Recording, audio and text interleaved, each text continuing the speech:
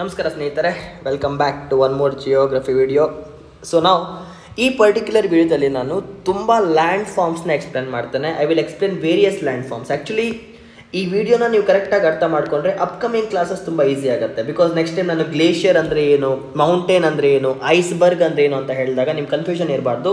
So I'm explaining all the terms that are available in geomorphology ಆಯಿತಾ? Geomorphology ಅಂದರೆ ಭೂಮಿ ಮೇಲ್ಗಡೆ ಇರುವಂಥ ಲ್ಯಾಂಡ್ ಫಾರ್ಮ್ಸ್ ಗುಡ್ಡ ಹೇಗೆ ಫಾರ್ಮ್ ಆಗುತ್ತೆ? ಅಥವಾ ಗ್ಲೇಷಿಯರ್ ಹೇಗೆ ಫಾರ್ಮ್ ಆಗುತ್ತೆ? ಮರುಭೂಮಿ ಹೇಗೆ ಫಾರ್ಮ್ ಆಗುತ್ತೆ? ಆ ಥರ ಪ್ಲೇನ್ಸ್ ಹೇಗೆ ಫಾರ್ಮ್ ಆಗುತ್ತೆ? ಪ್ಲಾಟ್ಯೂ ಹೇಗೆ ಫಾರ್ಮ್ ಆಗುತ್ತೆ? ಸಮುದ್ರ ಹೇಗೆ ಫಾರ್ಮ್ ಆಗುತ್ತೆ? ಪ್ರತಿಯೊಂದನ್ನು ನಾನು ಮೆನ್ಷನ್ ಮಾಡ್ತಾ ಹೋಗ್ತೇನೆ. ಸೊ ನೋಟ್ಸ್ನ ಮಾಡ್ಕೊಳ್ತಾ ಹೋಗಿ, ಸದ್ಯಕ್ಕೆ ಫಾರ್ ಟುಡೇಸ್ ಜಿಯೋಮಾರ್ಫಾಲಜಿಯಲ್ಲಿ ಈ ಪಿಕ್ಚರ್ ಕಾಣ್ತಿದೆ ಅಲ್ವಾ?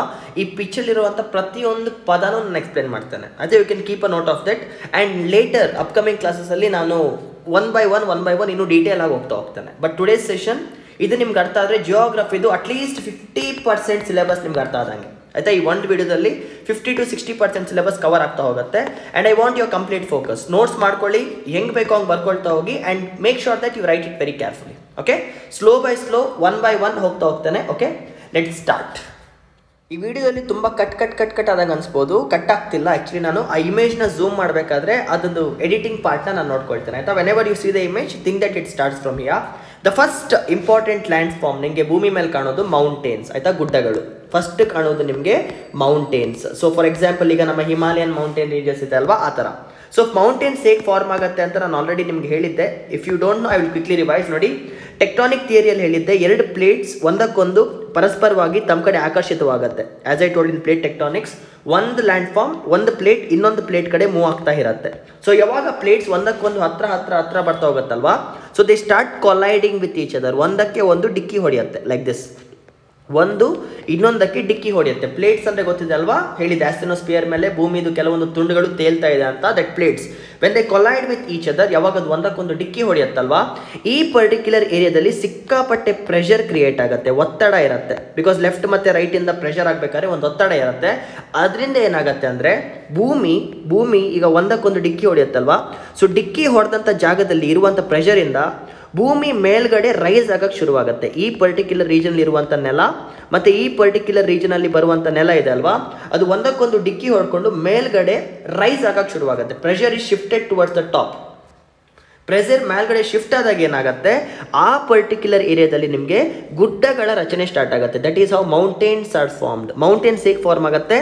ಒಂದು ಪ್ಲೇಟ್ ಇನ್ನೊಂದು ಪ್ಲೇಟ್ಗೆ ಡಿಕ್ಕಿ ಹೊಡೆದಾಗ, ಒಂದು ಪ್ಲೇಟ್ ಇನ್ನೊಂದು ಪ್ಲೇಟ್ಗೆ ಡಿಕ್ಕಿ ಹೊಡೆದಾಗ ಅಲ್ಲಿರುವಂಥ ಒತ್ತಡ ಜಾಸ್ತಿ ಆಗೋದ್ರಿಂದ ಆ ಪರ್ಟಿಕ್ಯುಲರ್ ಏರಿಯಾ ಫೋಲ್ಡ್ ಆಗುತ್ತೆ ಬೆಂಡ್ ಆಗುತ್ತೆ, ಯಾವ ಕಡೆ? ಮೇಲ್ಗಡೆ ಬೆಂಡ್ ಆಗುತ್ತೆ. ಬಿಕಾಸ್ ಪ್ರೆಷರ್ ಕೆನಾಟ್ ಎಸ್ಕೇಪ್ ಈ ಕಡೆನೂ ಪ್ರೆಷರ್ ಹೋಗೋಕ್ಕಾಗಲ್ಲ, ಈ ಕಡೆನೂ ಪ್ರೆಷರ್ ಹೋಗೋಕ್ಕಾಗಲ್ಲ. ಬಿಕಾಸ್ ಒಂದಕ್ಕೊಂದು ಡಿಕ್ಕಿ ಹೊಡಿತಿರ್ಬೇಕಾದ್ರೆ ಅಲ್ಲಿರುವ ಒತ್ತಡದಿಂದ ನೆಲ ಮೇಲ್ಗಡೆ ರೈಸ್ ಆಗುತ್ತೆ. That gives rise to mountain ranges ಅದು ನಮಗೆ ಮೌಂಟೇನ್ ರೇಂಜಸ್ಗೆ ಜನ್ಮ ಕೊಡುತ್ತೆ. ಅರ್ಥ ಆಗ್ತಿದೆಯಾ ದ ಬೆಸ್ಟ್ ಎಕ್ಸಾಂಪಲ್ ತಗೊಳ್ಳೋದಾದ್ರೆ ನಮ್ಮ ಭಾರತ ಗೊತ್ತಿದೆ ಅಲ್ವಾ? India so Indian plate okay ಬಿಡ್ಸಕ್ಕೆ ಬರಲ್ಲ ನನಗೆ ಒಂದು ರೇಂಜಿಗೆ ಬಿಡಿಸ್ತಾನೆ ಓಕೆ ಇದನ್ನು ನೀವು ಇಂಡಿಯನ್ ಪ್ಲೇಟ್ ಅಂತ ಕನ್ಸಿಡರ್ ಮಾಡೋದಾದ್ರೆ, ನಮ್ಮ ಇಂಡಿಯನ್ ಪ್ಲೇಟ್ ಇದೆ ಅಲ್ವಾ?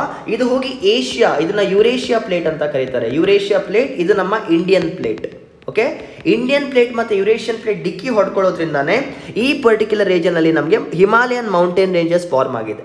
ಅಂದರೆ ಇನಿಷಿಯಲಿ ಇಂಡಿಯಾ ನಮ್ಮ ಭಾರತ ಏನಿದೆ, ಅದು ಏಷ್ಯಾದಲ್ಲಿ ಇರಲೇ ಇಲ್ಲ. ಏಷ್ಯಾ ಖಂಡದಲ್ಲಿ ಇರಲಿಲ್ಲ. ಅದು ಶಿಫ್ಟ್ ಆಗ್ತಾ ಆಗ್ತಾ ಪ್ಲೇಟ್ ಟೆಕ್ಟಾನಿಕ್ಸ್ ಮೂಮೆಂಟಲ್ಲಿ ಶಿಫ್ಟ್ ಆಗ್ತಾ ಆಗ್ತಾ ಏನಾಗಿದೆ, ಅದು ಹೋಗಿ ಸೀದಾ ಯುರೇಷಿಯಾ ಪ್ಲೇಟ್ ಚೈನಾ ಟಿಬೇಟ್ ಏನಿದೆ, ಆ ಪರ್ಟಿಕ್ಯುಲರ್ ರೀಜನಲ್ಲಿ ಹಿಟ್ ಆಗಿದೆ. ಅದಕ್ಕೆ ನಿಮಗೆ ಈ ರೇಂಜಸಲ್ಲಿ ಮೌಂಟೇನ್ಸ್ ಕಾಣುತ್ತೆ. And these mountains are famously called as Himalayan mountains so ಈ ಥರ ನಿಮಗೆ ಮೌಂಟೇನ್ ಗುಡ್ಡಗಳ ಫಾರ್ಮೇಷನ್ ಸ್ಟಾರ್ಟ್ ಆಗುತ್ತೆ. How are mountains form mountains are form when one plate goes and hits the other plate ನೆನ್ಪಿಟ್ಕೊಳ್ಳಿ, ಇದನ್ನು ನಾವು ಗುಡ್ಡಗಳಂತ ಕರಿತೇವೆ. So whenever is a mountain from now on ನಿಮ್ಗೆ ಒಂದೇ ನೆನಪಿರಬೇಕು. ಒಂದು ಪ್ಲೇಟ್ ಟೆಕ್ಟಾನಿಕ್ ಪ್ಲೇಟ್ ಹೋಗಿ, ಇನ್ನೊಂದು ಪ್ಲೇಟ್ಗೆ ಡಿಕ್ಕಿ ಹೊಡೆದು, ಆ ಪರ್ಟಿಕ್ಯುಲರ್ ರೀಜನಲ್ಲಿ ಕ್ರಿಯೇಟ್ ಆದಂಥ ಪ್ರೆಷರಿಂದ ನೆಲ ಮೇಲ್ಗಡೆ ರೈಸ್ ಆಗಿದೆ. ಅದನ್ನು ನಾವು ಮೌಂಟೇನ್ಸ್ ಅಂತ ಕರಿತೇವೆ. ಇಲ್ಲೇ ನಿಮಗೆ ಕಾಣ್ತಿದೆ ಅಲ್ವಾ? ಇದನ್ನು ಮೌಂಟೇನ್ಸ್ ಅಂತ. This is the first land form mountains and it is the basic land form okay ನೆನ್ಪಿಟ್ಕೊಳ್ಳಿ. ಮೌಂಟೇನ್ ಡನ್ ನೋಟ್ ಮಾಡ್ಕೊಳ್ತಾ ಹೋಗಿ, ಆಯಿತಾ? ಜಸ್ಟ್ ನೋಟ್ ಮಾಡ್ಕೊಳ್ತಾ ಹೋಗಿ, ಎಲ್ಲೆಲ್ಲಿ ನಿಮಗೆ ಈ ಥರ ಲ್ಯಾಂಡ್ ಫಾರ್ಮ್ಸ್ ಕಾಣುತ್ತೆ? ಈ ಥರ ಗುಡ್ಡಗಳು. ಒಂದೊಂದು ಪ್ಲೇಟ್ ಹೋಗಿ ಇನ್ನೊಂದು ಪ್ಲೇಟ್ ಹೊಡ್ಕೊಂಡು ನಿಮ್ಗೆ ಇಂಥ ಲ್ಯಾಂಡ್ ಫಾರ್ಮ್ಸ್ ಎಲ್ಲಿ ಕಾಣುತ್ತೆ ಅಂದರೆ ನೋಡಿ ಫಸ್ಟ್ ನಮ್ಮ ವೆಸ್ಟರ್ನ್ ಗಾರ್ಡ್ಸ್ ಇಲ್ಲಿ ನಮ್ಮ ವೆಸ್ಟರ್ನ್ ಗಾರ್ಡ್ಸ್ ಇದೆ, ಪಶ್ಚಿಮ ಘಟ್ಟಗಳು. ಓಕೆ ಇಲ್ಲಿ ನಮ್ಮ ವೆಸ್ಟರ್ನ್ ಗಾರ್ಡ್ಸ್ ಇದೆ, ನಿಮಗೆ ಭಾರತದಲ್ಲಿ ಕಾಣುತ್ತೆ. ಇಲ್ಲೇನಾಗ್ತಿದೆ ಅಂದರೆ ಓಷಿಯನ್ ಪ್ಲೇಟ್ ಮತ್ತು ಇದು ನಮ್ಮ ಟೆರಿಸ್ಟ್ರಿಯಲ್ ಪ್ಲೇಟ್ ಅಥವಾ ಏನಂತ ಕರಿತೇವೆ ನಾವು? ಕಾಂಟಿನೆಂಟಲ್ ಪ್ಲೇಟ್ ಹೋಗಿ ಹೊಡ್ಕೊಂಡಿದೆ. ಆಯಿತಾ? ಇಲ್ಲೊಂದು ಕಡೆ ಕಾಣುತ್ತೆ. ಈ ಜಾಗದಲ್ಲಿ ನಿಮಗೆ ಹಿಮಾಲಯಸ್ ಕಾಣುತ್ತೆ, ಗೊತ್ತಿರುತ್ತೆ. ಈ ಪರ್ಟಿಕ್ಯುಲರ್ ಜಾಗದಲ್ಲಿ ಹಿಮಾಲಯನ್ ರೇಂಜಸ್ ಇದೆ. ಆಯಿತಾ? ಸೌತ್ ಆಫ್ರಿಕಾದಲ್ಲಿ ಸಾರಿ ಸೌತ್ ಅಮೆರಿಕಾದಲ್ಲಿ ಈ ಪರ್ಟಿಕ್ಯುಲರ್ ರೇಜನಲ್ಲಿ ನಿಮಗೆ ಆ್ಯಂಡೀಸ್ ರೇಂಜಸ್ ಕಾಣುತ್ತೆ. Andes mountain ranges just note ಮಾಡ್ಕೊಳ್ಳಿ, ಮತ್ತೆ ಕ್ಲಾಸ್ ಮಾಡಬೇಕಾದ್ರೆ ಇದನ್ನು ಇನ್ನೂ ಡೀಟೇಲ್ ಆಗಿ ಮಾತಾಡ್ತೇನೆ. ಇವಾಗ ಓವರ್ ವ್ಯೂ ಇಟ್ಕೊಳ್ಳಿ ವಿಡಿಯೋ ಒಂದು ಓವರ್ ವ್ಯೂ ಕನ್ಸಿಡರ್ ಮಾಡಿ. ಯಾವ್ಯಾವ ಥರ ಮೌಂಟೇನ್ಸ್ ಇದೆ ಇಂಪಾರ್ಟೆಂಟ್ ಭಾರತದಲ್ಲಿ ವೆಸ್ಟರ್ನ್ ಗಾರ್ಡ್ಸ್ ಇದೆ. ಇಲ್ಲಿ ನಿಮಗೆ ಹಿಮಾಲಯನ್ ಮೌಂಟೇನ್ ರೇಂಜಸ್ ಇದೆ. ಆಯಿತಾ? ಸೌತ್ ಅಮೆರಿಕಾದಲ್ಲಿ ನಿಮಗೆ ಈ ಪರ್ಟಿಕ್ಯುಲರ್ ರೀಜನಲ್ಲಿ ಆ್ಯಂಡೀಸ್ ಮೌಂಟೇನ್ ರೇಂಜಸ್ ಕಾಣುತ್ತೆ. ಆ್ಯಂಡೀಸ್ ಮೌಂಟೇನ್ ರೇಂಜಸ್ ಆಯಿತಾ? ನೆಕ್ಸ್ಟ್ ಈ ಪರ್ಟಿಕ್ಯುಲರ್ ರೀಜನಲ್ಲಿ ಕೂಡ ಒಂದು ಮೌಂಟೇನ್ ರೇಂಜ್ ಬರುತ್ತೆ. ಈ ಪರ್ಟಿಕ್ಯುಲರ್ ರೀಜನಲ್ಲಿ ಕೂಡ ಒಂದು ಸಿಮಿಲರ್ ಮೌಂಟೇನ್ ರೇಂಜಸ್ ಇದೆ. ಇದನ್ನು ಟುಗೆದರ್ ಆಗಿ ಅಲೋಂಟಿಯನ್ಸ್ ಅಂತ ಕರೀತಾರೆ. A L E U T I A N S Aleutians Japanese islands ಈ ಜಪನೀಸ್ ಐಲ್ಯಾಂಡ್ಸ್ ಏನು ಕಂಪ್ಲೀಟಾಗಿ ಕ್ರಿಯೇಟ್ ಆಗಿದೆ ಅಲ್ವಾ? It is also because of this only ಆಯ್ತಾ? ಇದನ್ನ A L U T I A N S Japanese islands ಈ total Japanese ಅವ್ರದ್ದು islands islands ಏನಿದೆ? It all are found because of this only ಇದೆಲ್ಲ mountain ranges created by the collision of two plates and ನಮ್ಗೆ important ಯಾವುದು? ಒಂದು Himalayan mountain ranges ಇನ್ನೊಂದು ನಮ್ಮ ಪಶ್ಚಿಮ.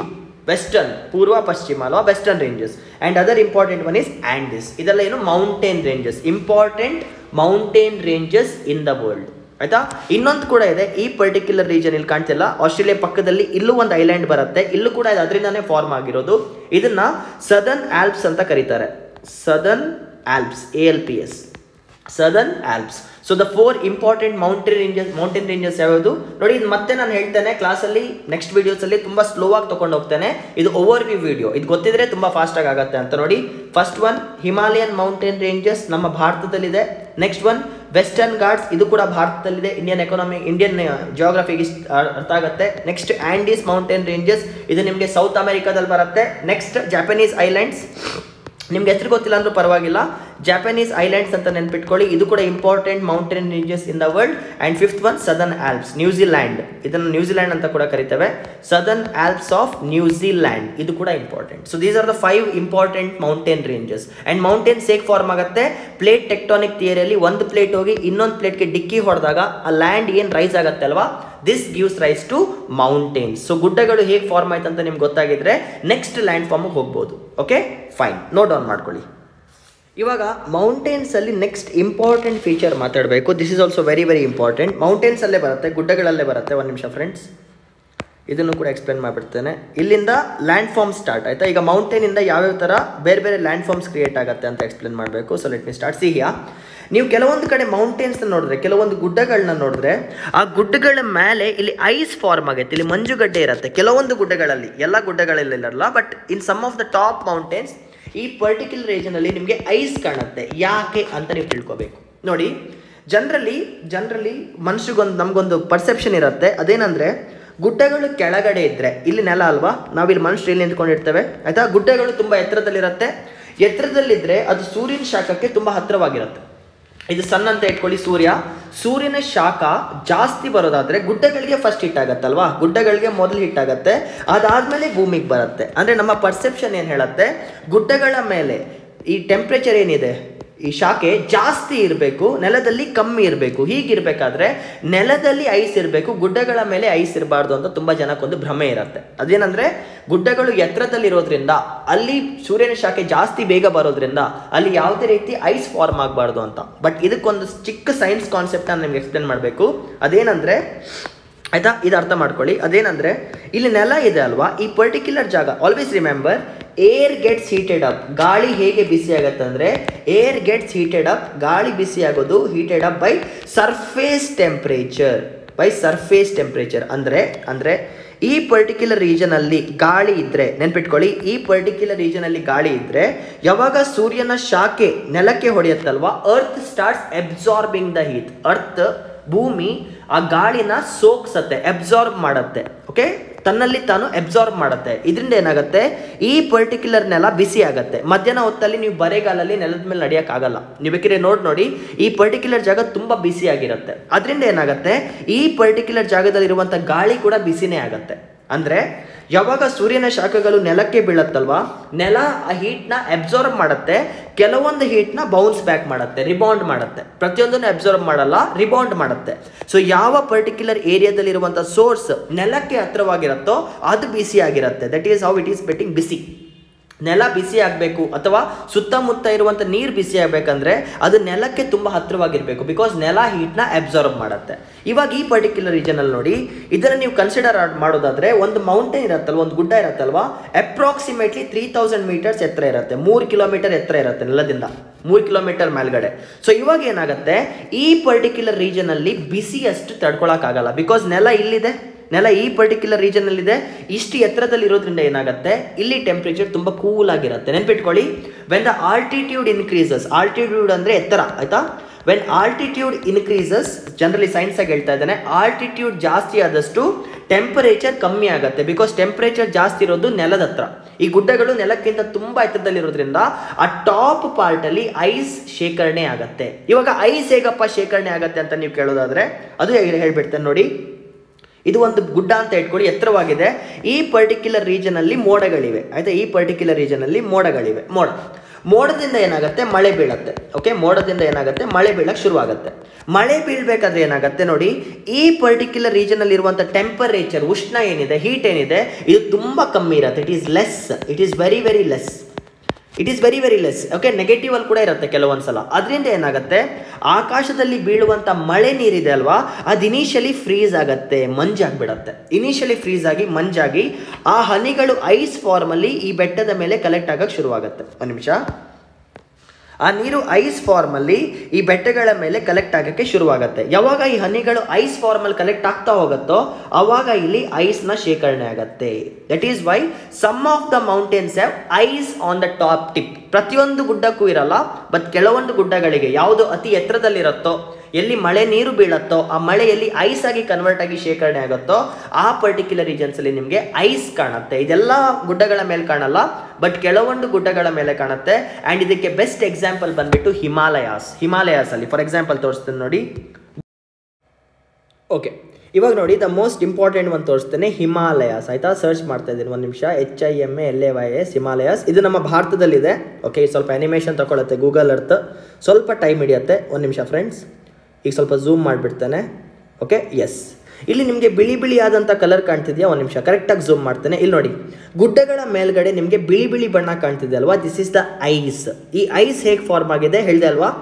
ಗುಡ್ಡಗಳ ಮೇಲೆ ಉಷ್ಣ ಕಮ್ಮಿ ಇರುತ್ತೆ. ಉಷ್ಣ ಕಮ್ಮಿ ಇರೋದ್ರಿಂದ ಅಲ್ಲಿ ಬೀಳುವಂಥ ನೀರು ಇನ್ಸ್ಟೆಂಟ್ ಆಗಿ ಫ್ರೀಸ್ ಆಗಿ ಅಲ್ಲಿ ಐಸ್ ಫಾರ್ಮ್ ಆಗುತ್ತೆ. ನೋಡಿ, ಒಂದು ಸ್ಕ್ರೀನ್ಶಾಟ್ ತಗೊಂಡು ಝೂಮ್ ಮಾಡ್ತಾ ಇದ್ದಾನೆ. ನಿಮ್ಗೆ ಕಾಣ್ತಿದೆ ಈ ಬ್ಲ್ಯಾಕ್ ಕಲರ್ ಮಾರ್ಕ್ ಇಲ್ಲೆಲ್ಲ ನಿಮಗೆ ಏನು ಐಸ್ ಕಾಣ್ತಿದೆ ಅಲ್ವಾ? It is formed because of collection of water on the top of the mountain but ಈ ನೀರು ಒಂಥರ ಫ್ರೀಸ್ ಆಗಿರುತ್ತೆ. ಒಂಥರ ಏನು ಹೇಳ್ಬೋದು ಇನ್ಸ್ಟೆಂಟ್ ಆಗಿ ಮಂಜುಗಡ್ಡೆ ಆಗೋದ್ರಿಂದ ಕೆಲವೊಂದು ಮೌಂಟೇನ್ಸ್ ಮೇಲ್ಗಡೆ ನಿಮಗೆ ಈ ಥರ ಸಿಂಪ್ಟಮ್ ಕಾಣುತ್ತೆ. It's a scientific event it's a nature's event ಅದೇನಂದ್ರೆ, ಉಷ್ಣ ಕಮ್ಮಿ ಇದ್ದರೆ ನೀರು ಫ್ರೀಸ್ ಆಗುತ್ತೆ, ಯಾವಾಗ ಟೆಂಪ್ರೇಚರ್ ಮೈನಸ್ ಅಲ್ಲಿ ಇರುತ್ತೋ ಇನ್ಸ್ಟೆಂಟ್ ಆಗಿ ವಾಟರ್ ಫ್ರೀಸ್ ಆಗುತ್ತೆ, ಹನಿಗಳು ಫ್ರೀಸ್ ಆಗಕ್ಕೆ ಜಾಸ್ತಿ ಹೊತ್ತು ಹಿಡಿಯಲ್ಲ, ಅದರಿಂದ ನಿಮಗೆ ಈ ಥರ ಒಂದು ಲ್ಯಾಂಡ್ ಫಾರ್ಮ್ ಕಾಣುತ್ತೆ. Okay this is the very very important one ಅಷ್ಟೇ. ಎಸ್ ಇದಾದಮೇಲೆ ಇನ್ನೊಂದು ಇಂಪಾರ್ಟೆಂಟ್ ವಿಷಯ ನೆನ್ಪಿಟ್ಕೊಳ್ಳಿ. ಅದೇನಂದ್ರೆ ಈ ಗುಡ್ಡ ಮೇಲೆ ಇರುವಂಥ ಮಂಜುಗಡ್ಡೆ ಇದೆ ಅಲ್ವಾ? ಇದು ವರ್ಷದ ಮುನ್ನೂರ ಅರವತ್ತೈದು ದಿನ ಇರಬೇಕಂತ ಏನೂ ರೆಸ್ಟ್ರಿಕ್ಷನ್ಸ್ ಇಲ್ಲ. It all depends on the weather ಅದೇನಂದರೆ, ಕೆಲವೊಂದು ಮೌಂಟೇನ್ಸಲ್ಲಿ ಪದೇ ಪದೇ ಮಳೆ ಆಗುವಂಥ ಜಾಗದಲ್ಲಿ ಎಲ್ಲಿ ಪದೇ ಪದೇ ಮಳೆ ಆಗುತ್ತಲ್ವಾ? ಅಂಥ ಜಾಗದಲ್ಲಿ ಮುನ್ನೂರ ಅರವತ್ತೈದು ದಿನ ಕೂಡ all three sixty five days ಕೂಡ ನಿಮಗೆ ಐಸ್ ಕಾಣುತ್ತೆ. Okay it is a miracle ಪ್ರತಿ ವರ್ಷ ಮಳೆ ಬೀಳ್ತಿದೆ. ಅಲ್ಲಿ ಇನ್ಸ್ಟೆಂಟ್ ಆಗಿ ಕೂಲ್ ಆಗ್ತಿದೆ ಟೆಂಪರೇಚರ್ ಕೂಡ ತುಂಬ ಕಮ್ಮಿ ಇದೆ. ಪದೇ ಪದೇ ಪದೇ ಪದೇ ಪದೇ ಐಸ್ ಫಾರ್ಮ್ ಆಗ್ತಿರತ್ತೆ. ಅದಕ್ಕೆ ನಿಮಗೆ ಮುನ್ನೂರ ಅರವತ್ತೈದು ವರ್ಷ ಕಾಣ, ಅರವತ್ತೈದು ದಿನ ಕೂಡ ಕಾಣುತ್ತೆ. ಕೆಲವೊಂದು ಕಡೆ ಏನಾಗುತ್ತೆ, ಮಂಜುಗಡ್ಡೆ ಕರ್ಗಿಗೆ ನೀರಾಗತ್ತೆ. ಅದರಿಂದ ಆ ಪರ್ಟಿಕ್ಯುಲರ್ ಮೌಂಟೇನ್ ಇರುವಂಥ ನೀರೇನಿದೆ, ಅದು ಹರಿದೋಗಿ ಅಲ್ಲಿ ಹಸಿರು ಕಾಣಕ್ಕೆ ಶುರುವಾಗುತ್ತೆ. ಇಟ್ ಈಸ್ ಮಿರಾಕ್ಯುಲಸ್ ಇದು ಕೆಲವೊಂದು ಸಲ ಆಗುತ್ತೆ ಕೆಲವೊಂದು ಸಲ ಆಗಲ್ಲ. ನಮ್ಮ ಹಿಮಾಲಯನ ನೀವು ಎಕ್ಸ್ ಎಕ್ಸಾಂಪಲ್ ಆಗಿ ತಗೊಳ್ಳೋದಾದ್ರೆ ಮುನ್ನೂರ ಅರವತ್ತೈದು ದಿನ ಕೂಡ ನಿಮಗೆ ಐಸ್ ಕಾಣುತ್ತೆ. ಬಟ್ ಕೆಲವೊಂದು ರೀಜನ್ಸಲ್ಲಿ ನೋಡಿ ಡಿಲೀಟ್ ಮಾಡ್ತಾ ಇದ್ದಾನೆ. ಈ ಥರ ನಾರ್ಮಲ್ ಮೌಂಟೇನ್ ಕೂಡ ಕಾಣುತ್ತೆ. ಇಲ್ಲೇನಾಗ್ತಿದೆ? ಪದೇ ಪದೇ ಮಳೆ ನೀರು ಬಿದ್ದರೆ ಅಲ್ಲಿ ಮಂಜುಗಡ್ಡೆ ಫಾರ್ಮ್ ಆಗ್ತಿರತ್ತೆ. ಕೆಲವೊಂದು ಸಲ ಮಳೆ ನಿಂತು ಟೆಂಪ್ರೇಚರ್ ಜಾಸ್ತಿಯಾಗಿ ನೀರು ಕರಗ್ತಾ ಹೋದರೆ ಅದು ಮುಗಿತಾ ಹೋಗುತ್ತೆ. So this is all about mountains so ಇಷ್ಟು ಗೊತ್ತಾರೆ ನಿಮಗೆ? ಗುಡ್ಡಗಳ ಫಾರ್ಮೇಷನ್ ಗೊತ್ತಾಯ್ತಲ್ಲ? ಗುಡ್ಡಗಳು ಹೇಗೆ ಫಾರ್ಮ್ ಆಗುತ್ತೆ? It is form by plate tectonic event ಒಂದು ಪ್ಲೇಟ್ ಹೋಗಿ ಇನ್ನೊಂದು ಪ್ಲೇಟ್ಗೆ ಡಿಕ್ಕಿ ಹೊಡೆಯೋದ್ರಿಂದ ಮೌಂಟೇನ್ಸ್ ಫಾರ್ಮ್ ಆಗುತ್ತೆ. ಮೇಲ್ಗಡೆ ಐಸ್ ಯಾಕೆ ಫಾರ್ಮ್ ಆಗುತ್ತೆ? ಐಸ್ ಫಾರ್ಮ್ ಆಗೋಕ್ಕೆ ರೀಸನ್ ಅಲ್ಲಿರುವಂಥ ರೀಜನ್ ತುಂಬ ಕೋಲ್ಡ್ ಆಗಿರುತ್ತೆ. ಪದೇ ಪದೇ ಮೌಂಟೇನಲ್ಲಿ ನೀರು ಬಿದ್ದು ಈ ಮಳೆಯಿಂದ ನೀರು ಬಿದ್ದು ಬಿದ್ದು ಬಿದ್ದು ಅದು ಶೇಖರಣೆಯಾಗಿ ಆಗಿ ಇನ್ಸ್ಟೆಂಟ್ ಆಗಿ ಫ್ರೀಸ್ ಆಗಿ ಮೌಂಟೇನ್ಗಳ ಗುಡ್ಡಗಳ ತುದಿಯಲ್ಲಿ ಅತಿ ಎತ್ತರದಲ್ಲಿ ನಿಮಗೆ ಐಸ್ ಫಾರ್ಮೇಷನ್ ಕಾಣುತ್ತೆ. So this is all about the mountains ಇದಾದ್ಮೇಲೆ ನೆಕ್ಸ್ಟ್ ಕಂಟಿನ್ಯೂ ಮಾಡ್ತಾ ಹೋಗೋಣ. ಓಕೆ ಸೊ ನಿಮಗೆ ಗುಡ್ಡಗಳು ಅರ್ಥ ಆಯ್ತಲ್ವಾ? ಇವಾಗ ಸೆಕೆಂಡ್ ಪಾರ್ಟ್ ನೋಡಿ ಒಂದು ಗುಡ್ಡ ಬಿಡಿಸ್ತಾ ಇದ್ದಾನೆ. ಇದು ಸ್ವಲ್ಪ ಡಿಫ್ರೆಂಟ್ ಕಾನ್ಸೆಪ್ಟ್ ಸ್ವಲ್ಪ ಅರ್ಥ ಮಾಡ್ಕೊಳ್ಳಿ ಓಕೆ ನಮ್ಮ ಹತ್ರ ಒಂದು ಗುಡ್ಡ ಇದೆ ಅಂತ ಇಟ್ಕೊಳ್ಳಿ ಆಯ್ತಾ? ಆ್ಯಂಡ್ ಹೇಳಿದೆ ಗುಡ್ಡಗಳ ಮೇಲೆ ಐಸ್ ಕೂಡ ಫಾರ್ಮ್ ಆಗುತ್ತೆ ಮಂಜುಗಡ್ಡೆ ಫಾರ್ಮೇಷನ್ ಆಗುತ್ತೆ. ಯಾಕೆ? ಇಲ್ಲಿರುವಂಥ ಉಷ್ಣ ಕಮ್ಮಿ ಇರೋದ್ರಿಂದ ಈ ಪರ್ಟಿಕ್ಯುಲರ್ ರೀಜನಲ್ಲಿ ಐಸ್ ಫಾರ್ಮ್ ಆಗ್ತಿದೆ, ಆಯಿತಾ? ಇವಾಗ ಇದ್ರದ್ದು ಒಂದು ಸ್ಮಾಲ್ ಮಾಡಿಫಿಕೇಶನ್ ಏನಂದರೆ, ಈ ಕ್ಲೌಡ್ಸ್ ಏನಿದೆ, ಇಲ್ಲಿ ಮೋಡಗಳೇನಿದೆ ಅಲ್ವಾ, ಇದು ಈ ಜಾಗದಲ್ಲಿ ಇದೆ ಅಂತ ಇಟ್ಕೊಳ್ಳಿ. ಎಕ್ಸಾಕ್ಟ್ ಆಗಿ ಮೌಂಟೇನ್ ತಲೆ ಮೇಲಿಲ್ಲ, ಸ್ವಲ್ಪ ಸೈಡಲ್ಲಿದೆ ಆ್ಯಂಡ್ ಈ ಪರ್ಟಿಕ್ಯುಲರ್ ರೀಜನಲ್ಲಿ ಕೂಡ ಓಕೆ ಹಿಂಗೆ ಬಿಡಿಸ್ತಾ ಇದ್ದಾನೆ. ಈ- ಈ ಪರ್ಟಿಕ್ಯುಲರ್ ರೀಜನಲ್ಲಿ ಕೂಡ ಟೆಂಪರೇಚರ್ ಕಮ್ಮಿನೇ ಇದೆ. ಸೊ ಅದರಿಂದ ಏನಾಗುತ್ತೆ? ಇಲ್ಲಿಂದ ಬೀಳುವಂಥ ಮಳೆ ನೀರು ಇನ್ಸ್ಟೆಂಟಾಗಿ ಫ್ರೀಸ್ ಆಗಿ ಇನ್ಸ್ಟೆಂಟ್ ಆಗಿ ಫ್ರೀಸ್ ಅಂದರೆ ಏನು? ಮಂಜುಗಡ್ಡೆ ಆಗಿ ಈ ಪರ್ಟಿಕ್ಯುಲರ್ ಜಾಗದಲ್ಲಿ ಬಂದು ಶೇಖರಣೆ ಆಗುತ್ತೆ. ಕಾಣ್ತಿದ್ಯಾ? ಝೂಮ್ ಮಾಡ್ತೇನೆ. ಈ ಪರ್ಟಿಕ್ಯುಲರ್ ರೀಜನಲ್ಲಿ ಬಂದು ಶೇಖರಣೆ ಆಗ್ತಾ ಇದೆ. ಮಂಜುಗಡ್ಡೆ ಬಂದು ಏನಾಗ್ತಿದೆ? ಈ ಪರ್ಟಿಕ್ಯುಲರ್ ರೀಜನಲ್ಲಿ ಪದೇ ಪದೇ ಪದೇ ಪದೇ ಪದೇ ಮಳೆ ಬಿದ್ದು ಈ ಪರ್ಟಿಕ್ಯುಲರ್ ರೀಜನಲ್ಲಿ ಶೇಖರಣೆ ಆಗ್ತಿದೆ. ಆ್ಯಂಡ್ ಇನಿಷಿಯಲಿ ಪ್ರತಿ ಮೊದಲನೇ ವರ್ಷದಲ್ಲಿ ಈ ಥರ ಇನಿಷಿಯಲಿ ಮೊದಲನೇ ವರ್ಷದಲ್ಲಿ ಈ ಥರ ಒಂದು ಲೇಯರ್ ಫಾರ್ಮ್ ಆಗುತ್ತೆ. ಇನಿಷಿಯಲಿ ಮೊದಲನೇ ವರ್ಷದಲ್ಲಿ ಈ ಥರ ಒಂದು ಲೇಯರ್ ಫಾರ್ಮ್ ಆಗುತ್ತೆ. ಇದಾದಮೇಲೆ ಇದ್ರ ಮೇಲೆ ಇನ್ನೊಂದು ಲೇಯರ್ ಫಾರ್ಮ್ ಆಗುತ್ತೆ. ಇದ್ರ ಮೇಲೆ ಇನ್ನೊಂದು ಲೇಯರ್ ಫಾರ್ಮ್ ಆಗುತ್ತೆ. ಇದ್ರ ಮೇಲೆ ಇನ್ನೊಂದು ಲೇಯರ್ ಫಾರ್ಮ್ ಆಗುತ್ತೆ. ಇದ್ರ ಮೇಲೆ ಇನ್ನೊಂದು ಲೇಯರ್ ಫಾರ್ಮ್ ಆಗುತ್ತೆ. ಈ ಥರ ಒಂದು ಡೆನ್ಸ್ ಲೇಯರ್ ಫಾರ್ಮ್ ಆಗುತ್ತೆ. ನೆನ್ಪಿಟ್ಕೊಳ್ಳಿ, ಈ ಥರ ಒಂದು ಡೆನ್ಸ್ ಲೇಯರ್ ಫಾರ್ಮ್ ಆಗುತ್ತೆ. ಅಥವಾ ಒಂದು ಕಂಪ್ಲೀಟ್ ಲೇಯರ್ ಫಾರ್ಮ್ ಆಗುತ್ತೆ. Let me start from here ಈ ಥರ ಒಂದು ಕಂಪ್ಲೀಟ್ ಲೇಯರ್ ಫಾರ್ಮ್ ಆಗುತ್ತೆ. ಇಲ್ಲಿ ಏನಾಗ್ತಿದೆ? ಗುಡ್ಡದ ಮೇಲೆ ಪದೇ ಪದೇ ಪದೇ ಪದೇ ಪದೇ ಐಸ್ ಬಿದ್ದು ಬಿದ್ದು ಬಿದ್ದು ಬಿದ್ದು ಬಿದ್ದು ಬಿದ್ದು ಬಿದ್ದು ಒಂದು ಸ್ಟ್ರಾಂಗ್ ಲೇಯರ್ ಫಾರ್ಮ್ ಆಗ್ತಿದೆ. ಇದನ್ನ ಈ ಪರ್ಟಿಕ್ಯುಲರ್ ಲ್ಯಾಂಡ್ ಫಾರ್ಮ್ನ ನಾವು ಗ್ಲೇಷಿಯರ್ಸ್ ಅಂತ ಕರಿತೇವೆ. ಗ್ಲೇಷಿಯರ್ಸ್ ಗ್ಲೇಷಿಯರ್ಸ್ ಅಂದ್ರೆ ಏನು ಆ mountain is covered with ice ಅದು ಯಾವ ಥರ ಕಾಣುತ್ತೆ? ಒಂದು ಈ ಥರ ಕಾಣುತ್ತೆ ಆ್ಯಕ್ಚುಲಿ ಆ full mountain is covered with ice by layers of ice thick layers of ice layers of ಐಸಿಂದ ಒಂದು ಮೌಂಟೇನ್ ಕವರ್ ಆದರೆ ಅದನ್ನು ನಾವು ಗ್ಲೇಷಿಯರೈಸ್ಡ್ ಮೌಂಟೇನ್ ಅಂತ ಕರಿತೇವೆ. ನೆನ್ಪಿಟ್ಕೊಳ್ಳಿ ಮೌಂಟೇನ್ಸಲ್ಲಿ ಎರಡು ಹೆಸರಿದೆ. ಒಂದು ಮೌಂಟೇನ್ ತಲೆ ಮೇಲೆ ಬರೀ ಐಸ್ ಇದ್ರೆ, ಇಷ್ಟು ಜಾಗದಲ್ಲಿ ಮಾತ್ರ ಐಸ್ ಇದ್ರೆ ಇದನ್ನು ನಾವು ಸ್ನೋ ಕ್ಯಾಪ್ಡ್ ಮೌಂಟೇನ್ಸ್ ಅಂತ ಕರಿತೇವೆ. ಸ್ನೋ ಕ್ಯಾಪ್ ಮೌಂಟೇನ್ಸ್ ಅಂದರೆ ನಮ್ಮ ಗುಡ್ಡದ ಮೇಲೆ ಒಂದು ಸ್ನೋ ಮಂಜುಗಡ್ಡೆ ಒಂದು ಕಿರೀಟ ಇದೆ. ಇದನ್ನ ನಾವು ಸ್ನೋ ಕ್ಯಾಪ್ ಮೌಂಟೇನ್ಸ್ ಅಂತ ಕರಿತೇವೆ. ಅದೇ ಒಂದು ಮೌಂಟೇನ್, ಕಂಪ್ಲೀಟ್ಲಿ ಐಸ್ ಆಗಿ ಕಂಡ್ರೆ ನಿಮಗೆ. ಕಂಪ್ಲೀಟ್ ಮೌಂಟೇನೇ ಒಂದು ಐಸ್ ಮೌಂಟೇನ್ ಥರ ಕಂಡ್ರೆ. Okay it's a very physical phenomena scientific ಹೋಯ್ತು. ಹೋಯ್ತು. ಯಾ ಸಾರಿ ಫ್ರೆಂಡ್ಸ್ ಅದು ಸ್ವಲ್ಪ ಫ್ರೀಸ್ ಆಯಿತು, ಪರವಾಗಿಲ್ಲ. ಇಡೀ ಗುಡ್ಡನೇ ನಿಮಗೆ ಒಂಥರ ಐಸ್ ಆಗಿ ಕಂಡ್ರೆ. ಇದನ್ನು ನಾವು ಗ್ಲೇಷಿಯರ್ಸ್ ಅಂತ ಕರಿತೇವೆ, ಗ್ಲೇಷಿಯರ್. ಆಯಿತಾ? ಗ್ಲೇಷಿಯರೈಸ್ಡ್ ಮೌಂಟೇನ್ ಅಂತ ಕರೀತಾರೆ. Glacier mountain or glacierised mountain ಬರೀ ತುದಿ ಮೇಲೆ ಐಸ್ ಇದ್ರೆ ಅದನ್ನು ಸ್ನೋ ಕ್ಯಾಪ್ಡ್ ಮೌಂಟೇನ್ಸ್ ಅಂತ ಕರಿತೀರಾ? ಇಡೀ ಮೌಂಟೇನಲ್ಲಿ ಐಸ್ ಆಗಿದ್ರೆ ಇದನ್ನು ನಾವು ಸ್ನೋ ಕ್ಯಾಪ್ಡ್ ಮೌಂಟೇನ್ಸ್ ಅಂತ ಕರಿತೇವೆ. ನೆನ್ಪಿಟ್ಕೊಳ್ಳಿ this is one of the most beautiful architecture of nature ನಮ್ಮ ಪ್ರಕೃತಿ ಸೃಷ್ಟಿ ಮಾಡುವಂತ ಅತಿ ಸುಂದರವಾದಂಥ ಕಲಾಕೃತಿಗಳಲ್ಲಿ ಇದು ಕೂಡ ಒಂದು. ಒಂದು ಫೋಟೋ ತೋರಿಸ್ತೇನೆ ಒಂದು ನಿಮಿಷ. ಯಾ ಫ್ರೆಂಡ್ಸ್ ಈ ಪರ್ಟಿಕ್ಯುಲರ್ ಫೋಟೋನ ನೀವು ನೋಡೋದಾದ್ರೆ ನೋಡಿ ಇಲ್ಲಿ ಅಯ್ಯೋ ದೇವ್ರೆ. ಈ ಪರ್ಟಿಕ್ಯುಲರ್ ಫೋಟೋನ ನೀವು ನೀಡೋ ನೋಡೋದಾದ್ರೆ ಒಂದು ನಿಮಿಷ. ಈ ಪರ್ಟಿಕ್ಯುಲರ್ ಫೋಟೋನ ನೀವು ನೋಡೋದಾದ್ರೆ, ಇಲ್ಲಿ ನೋಡಿ, ಇಲ್ಲೊಬ್ಬ ವ್ಯಕ್ತಿ ನಿಂತ್ಕೊಂಡಿದ್ದಾನೆ, ಮಹಾನ್ ಭಾವ, ತುಂಬ ಧೈರ್ಯ ಇದೆ ಅವನಿಗೆ. ಇದ್ರ ಮೇಲ್ಗಡೆ ಇಲ್ಲಿ ಏನು ಕಾಣ್ತಿದೆ ಅಲ್ವಾ ನಿಮಗೆ? ಈ ಪರ್ಟಿಕ್ಯುಲರ್ ಥಿಂಗ್ಸ್ ಇದೆಲ್ಲ ಗ್ಲೇಷಿಯರ್ ಆ್ಯಕ್ಚುಲಿ ಸೊ ಇಲ್ಲೇನಾಗಿದೆ ಅಂದರೆ ಹೇಳಿದೆ ಅಲ್ವಾ? ಮೇಲ್ಗಡೆ ಇರುವಂಥ ಪ್ರೆಷರಿಂದ ಕೆಳಗಡೆ ಇರುವಂಥ ಗ್ಲೇಷಿಯರ್ ಕರಗ್ತಾ ಹೋಗುತ್ತೆ. ಅದರಿಂದ ಇದೆಲ್ಲ ಕರಗಿದೆ. Initially when it started initially start ಆದಾಗ ಇಲ್ಲೂ ಕೂಡ ಫುಲ್ ಐಸೇ ಇರುತ್ತೆ. ಇದೆಲ್ಲ ಫುಲ್ ಐಸ್ ಇವನಿಗೆ ಇಲ್ಲಿ ಬರೋಕ್ಕಾಗಿರಲ್ಲ ಬಟ್ ಇವಾಗ ಏನಾಗಿದೆ? ಕ್ರಮೇಣವಾಗಿ ಐಸ್ ಕರಗೋದ್ರಿಂದ ಇಲ್ಲಿ ಒಂದು ಗೇ, ಇಲ್ಲೊಂದು ಗ್ಯಾಪ್ ಫಾರ್ಮ್ ಆಗ್ತಾ ಹೋಗಿದೆ. ಈ ಥರ ಗ್ಯಾಪ್ ಫಾರ್ಮ್ ಆಗಿ ಫಾರ್ಮ್ ಆಗಿ ಫಾರ್ಮ್ ಆಗಿ ಫಾರ್ಮ್ ಆಗಿ ಈ ಬಪ್ಪ ಇಲ್ಲಿ ಬಂದು ನಿಂತ್ಕೊಂಡಿದ್ದಾನೆ. ಅರ್ಥ ಆಗ್ತಿದೆಯಾ? ಗ್ಲೇಷಿಯರ್ಸ್ ಕೆಳಗಡೆ ಮೆಲ್ಟ್ ಆಗ್ತಾ ಹೋಗುತ್ತೆ ಫ್ರೆಂಡ್ಸ್ ಇದನ್ನ ನೆನ್ಪಿಟ್ಕೊಳ್ಳಿ. ಆ್ಯಂಡ್ ಬೈ ಚಾನ್ಸ್ ಈ ಟೈಮಲ್ಲಿ ಇದು ಬೀಳೋ ಚಾನ್ಸಸ್ ಕೂಡ ಇರುತ್ತೆ. ಯಾವಾಗ ಅದು ತುಂಬ ವೆಯ್ಟ್ ಜಾಸ್ತಿ ಕಮ್ಮಿ ಆಗ್ತಾ ಹೋಗುತ್ತಲ್ವ? ಗ್ಲೇಷಿಯರ್ ತೂಕ ಜಾಸ್ತಿ ಆಗ್ತಾ ಹೋಗುತ್ತಲ್ವಾ? ಸೊ ಅವಾಗ ಈ ಪರ್ಟಿಕ್ಯುಲರ್ ಏರಿಯಾ ಸ್ಟ್ರಿಂಕ್ ಆಗೋ ಚಾನ್ಸಸ್ ಇರುತ್ತೆ. ಕೆಳಗಡೆ ಸ್ಲೈಡ್ ಆಗೋ ಚಾನ್ಸಸ್ ಇರುತ್ತೆ. ಹಾಗಾದರೆ ಈ ಅಪ್ಪನ ಚಟ್ನಿ ಮಾತ್ರ ಸಿಗುತ್ತೆ ನಮಗೆ. ಅರ್ಥ ಆಗ್ತಿದೆಯಾ? Glacier may be the most beautiful thing but it is always risky so what are glaciers huge amount of ice that is collected on the body of the mountain ಯಾಕೆ? ಪದೇ ಪದೇ ಮಳೆ ಬಿದ್ದು ಬಿದ್ದು ಬಿದ್ದು ನೀರು ಫ್ರೀಸ್ ಆಗಿ ಕಲೆಕ್ಟ್ ಆಗುತ್ತೆ. ಆ್ಯಂಡ್ ಓವರ್ ದ ಟೈಮ್ ಅದು ಕ್ರಿಸ್ಟಲೈಸ್ ಆಗಿ ಈ ಥರ ಒಂದು ಗುಹೆ ಥರ ಕಾಣುತ್ತೆ. ಬಟ್ ಇದು ತುಂಬ ರಿಸ್ಕಿ ಆಗಿರುತ್ತೆ. So this is the second type of mountain glacier mountains okay okay so ಈಗ ನಿಮ್ಗೆ ಇದು ಅರ್ಥ ಆಯ್ತಲ್ಲ? ಮೌಂಟೇನ್ಸ್ ಅರ್ಥ ಆಗಿದೆ ಕಂಪ್ಲೀಟ್ ಆಗಿ ಅರ್ಥ ಆಗಿದೆ. ಈಗ ಮೌಂಟೇನ್ಸ್ ಅಲ್ಲಿ ಇನ್ನೊಂದು ನೆನ್ಪಿಟ್ಕೊಳ್ಳಿ. ಇಲ್ಲಿ ನಿಮ್ಗೆ ಇದು ಕಾಣ್ತಿದ್ಯಾ? ಐಸ್ಬರ್ಗ್ ಇದು ನೀರ್ ಮೇಲೆ ತೇಲುವಂತ ಮಂಜುಗಡ್ಡೆ. ಯಾವ ಥರ ನೋಡಿದ್ದೀರಾ? ಒಂದು ಸಮುದ್ರ ಇರತ್ತೆ ಇಟ್ಕೊಳ್ಳಿ. ಇದ್ರ ಮೇಲೆ ಒಂದು ಮಂಜುಗಡ್ಡೆ ಒಂದು ತುಂಡು ತೇಲ್ತಾ ಇರತ್ತೆ. ಇದನ್ನ ನಾವು ಐಸ್ಬರ್ಗ್ ಅಂತ ಕರಿತೀವಿ. ಯಾವ ಥರ ಕೇಳಿದ್ದೀರಾ ನೀವು? ಐಸ್ಬರ್ಗ್ಸ್? ಟೈಟಾನಿಕ್ ಶಿಪ್ ಗೊತ್ತಿದೆಯಲ್ಲ ಇಟ್ ಹಿಡಿದ ಐಸ್ಬರ್ಗ್, ಒಂದು ಐಸ್ಬರ್ಗ್ ಮಂಜುಗಡ್ಡೆ ತೇಲ್ತಿದ್ದ ಮಂಜುಗಡ್ಡೆಗೆ ಹೊಡ್ಕೊಂಡು ಮುಳುಗೋಯ್ತು ಅಂತ ಹೇಳ್ತಾರೆ. ಅದು ಯಾಕಂದ್ರೆ ಐಸ್ಬರ್ಗ್ ಮೇಲ್ಗಡೆ ಏನು ಕಾಣುತ್ತಾರವ it is only ten percent of the iceberg ನೆನ್ಪಿಟ್ಕೊಳ್ಳಿ. ಐಸ್ಬರ್ಗ್ ಮೇಲ್ಗಡೆ ಏನು ಕಾಣುತ್ತೆ? ಅದು ಬರೀ ಅದು ಹತ್ತು ಪರ್ಸೆಂಟ್ ಆಗಿರುತ್ತೆ. Ninety percent of the iceberg will be inside the water ನೀರಿನ ಒಳಗಡೆ ನೈಂಟಿ ಪರ್ಸೆಂಟ್ ಐಸ್ಬರ್ಗ್ ಇರುತ್ತೆ. ನೀರಿನ ಮೇಲ್ಗಡೆ ಬರೀ ನಿಮಗೆ ಅದರದ್ದು ಹತ್ತು ಪರ್ಸೆಂಟ್ ಮಾತ್ರ ಕಾಣುತ್ತೆ. ಸೊ ಇವಾಗ ಐಸ್ಬರ್ಗ್ ಅಂದ್ರೆ ಏನು ಅಂತ ನೀವು ಕೇಳೋದಾದ್ರೆ ಲೆಟ್ ಮಿ ಯು ನೋಡಿ. ಇಲ್ಲಿ ಈ ಥರ ಒಂದು ಮೌಂಟೇನ್ ರೀಜನ್ ಇದ್ರೆ, ಒಂದು ನಿಮಿಷ, ಬೇರೆ ಡಯಾಗ್ರಾಮ್ ಬಿಡಿಸ್ತಾನೆ. ಐಸ್ಬರ್ಗ್ ಹೇಗೆ ಫಾರ್ಮ್ ಆಗುತ್ತೆ ಅಂತ ಅರ್ಥ ಮಾಡ್ಕೊಳ್ಳಿ, ನೋಡಿ. ಇಲ್ಲಿ ಒಂದು ಗುಡ್ಡ ಇದೆ ಅಂತ ಇಟ್ಕೊಳ್ಳಿ ಓಕೆ ಇಲ್ಲೊಂದು ಗುಡ್ಡ ಇದೆ. ಈ ಗುಡ್ಡ ಸಮುದ್ರದ ದಡದಲ್ಲೇ ಇದೆ. ಇದೆಲ್ಲ ಸಮುದ್ರ. ಓಕೆ ಒಂದು ನಿಮಿಷ. ಕಲರ್ ಚೇಂಜ್ ಮಾಡೋಣ. ಇಲ್ಲಿ ಗುಡ್ಡ ಇದೆ. ಗುಡ್ಡದ ಸ ಪಕ್ಕದಲ್ಲಿ ಏನಿದೆ? ಒಂದು ಸಮುದ್ರ ಇದೆ. ಆಯ್ತಾ? ಇಲ್ಲೊಂದು ಮಹಾ ಸಮುದ್ರ ಇದೆ ಅಂತ ಇಟ್ಕೊಳ್ಳಿ. ಗುಡ್ಡದ ಪಕ್ಕದಲ್ಲೇ ಒಂದು ಸಮುದ್ರ ಇದೆ. ಆಯ್ತಾ?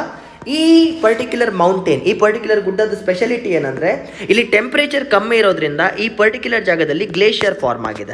ಆಯ್ತಾ? ಗ್ಲೇಷಿಯರ್ ಅಂದ್ರೆ ಗೊತ್ತಿದೆ ಅಲ್ವಾ? ಆ complete mountain is covered with ice ಇವಾಗಷ್ಟೇ ಹೇಳಿದೆ, ಇದು ಒಂದು ಗ್ಲೇಷಿಯಲ್ ಮೌಂಟೇನ್ ಇದು ಒಂದು ಗ್ಲೇಷಿಯಲ್ ಮೌಂಟೇನ್ ಇದರಿಂದ ಏನಾಗುತ್ತೆ? ಕ್ರಮೇಣವಾಗಿ ಕ್ರಮೇಣವಾಗಿ ಕೆಳಗಡೆ ಇರುವಂತ ಐಸ್ ಮೆಲ್ಟ್ ಆಗತ್ತೆ ಅಂತ ಹೇಳಿದೆ. ಈ ಪರ್ಟಿಕ್ಯುಲರ್ ಜಾಗದಲ್ಲಿ ಇರುವಂಥ ಐಸ್ ಮೆಲ್ಟ್ ಆಗ್ತದೆ ಬಿಕಾಸ್ ಗ್ಲೇಷಿಯರ್ ಮೆಲ್ಟ್ ಆಗುತ್ತೆ. ಮೆಲ್ಟ್ ಆಗಿ ಏನಾಗುತ್ತೆ ಅಂದರೆ ಈ ಪರ್ಟಿಕ್ಯುಲರ್ ಪೀಸ್ ಇದೆ ಅಲ್ವಾ? ಇದು ಈ ಗುಡ್ಡನ ಬಿಟ್ಟು ಜಾರ್ಕೊಂಡು ಬಂದು ನೀರಲ್ಲಿ ಬಿದ್ದು ಬಿಡತ್ತೆ ನೆನ್ಪಿಟ್ಕೊಳ್ಳಿ.